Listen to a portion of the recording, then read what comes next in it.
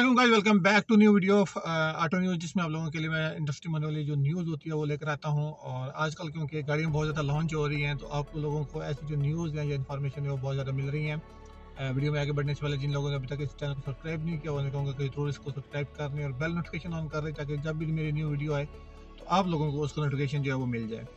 आप में से जिन लोगों जो लोग मुझे काफ़ी टाइम से फॉलो कर रहे हैं उन्होंने देखा होगा कि मैंने 2020 के फेब के अंदर पेप्स का एक इवेंट हुआ था लाहौर में वहाँ पे मैंने किया था और वहाँ पे मैंने कुछ गाड़ियों की वीडियो शूट की थी खासतौर में जो है वो base B A I C base की मैंने की थी और उसकी दो गाड़ियाँ थी। वैसे तो तीन वहाँ पर लॉन्च हुई थी जिनमें D twenty X twenty five और एक फोर बाई फोर थी।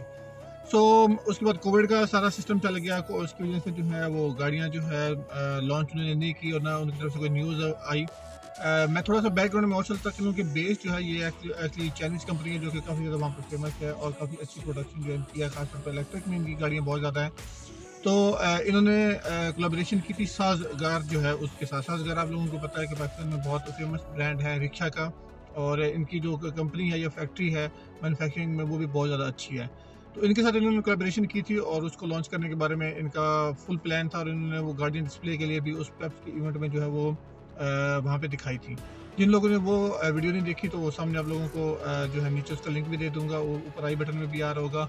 डी ट्वेंटी और एक्स ट्वेंटी फाइव की वीडियो मैंने वहाँ पे जो है इनकी बनाई थी। तो उनमें जो है वो एक्स डी ट्वेंटी जो है हैशबैक थी और एक्स ट्वेंटी फाइव जो थी, ये एस यू गाड़ी थी। तो काफ़ी खामोशी के बाद इन्होंने अभी दोबारा जो है अब एक न्यूज़ आई है कि इनका जो प्लांट है वो लग चुका है और within a three month जो है ये अपनी जो फ़र्स्ट प्रोडक्शन होगी, वो जो है पाकिस्तान के अंदर जो लॉन्च करने जा रहे हैं।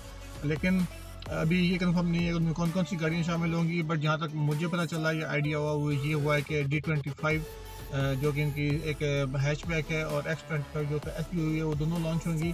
उसकी रीज़न यह ये है कि पाकिस्तान में जो है वो कंपटीशन बहुत ज़्यादा इंक्रीज़ होता जा रहा है। आप अभी देख लें कि मैंने दो दिन पहले जो है वीडियो शूट की थी, वो चैंगान की एल्सविन की, वो गाड़ी बहुत ज़्यादा एक अच्छी प्रोडक्शन है, एक अच्छा आप कह सकते हैं टफ टाइम देने वाली वो गाड़ी है होंडा सिटी को या टोटा की जो ईयरस गाड़ी है, वो लॉन्च हुई थी पाकिस्तान में उसको। तो ये जो कंपटीशन इंक्रीज हो रहा है और ये एक बेस्ट टाइम है इस टाइम को कैच करने का तो साजगार और बेस जो वो भी इसी बारे में सोच रही हैं। तो इसका जो इसकी जो गाड़ी है वो इंशाल्लाह आई होप सो कि जल्दी देखने को मिलेगी पाकिस्तान में। और जो मेन चीज़ है जिसके बारे में लोग ये समझ रहे हैं कि ये जो बिल्ट इन यूनिट हैं वो आ रहे हैं बाहर से तो ये गाड़ियाँ जो हैं ये अपने प्लांट यहाँ पर लगा रही हैं और यहाँ पर प्लांट में इनकी मैनुफैक्चरिंग होगी। सो so, ये जो ये असम्बली होगी तो ये जो आपको गाड़ी यहाँ पे देखने को मिलेंगी मोस्टली तौर पर वो यही की होंगी। चेंगान जो है, वो भी जो एल सी है, बहुत से लोग वो कह रहे थे मुझे जनाब कि वो बिल्ट इन यूनिट है। तो बिल्ट इन यूनिट नहीं, पाकिस्तान के अंदर असम्बल उसको कीजिए मास्टर मोटर जो है, वो उसको असम्बल कर रही है। मास्टर मोटर बहुत सी कंपनियों के लिए अपनी जो जो गाड़ियाँ होती हैं, वो असम्बल करता है। तो ये एक छोटी सी न्यूज़ थी आई होप सो बहुत जल्द उनकी गाड़ियाँ भी देखने को मिलेंगी और ऑफ़ कोर्स मैं आप लोगों के लिए रिव्यू लेकर आऊँगा उसका भी। तो लेट्स सी कि कब वो गाड़ी लॉन्च करते हैं।